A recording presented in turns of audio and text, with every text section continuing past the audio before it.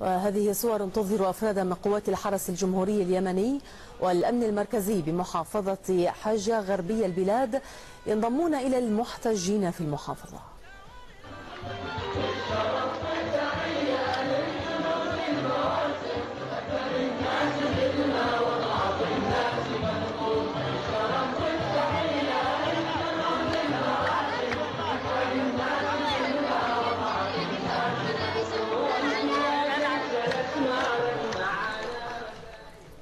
الآن إلى الملف الليبي حيث أكدت مجموعة دول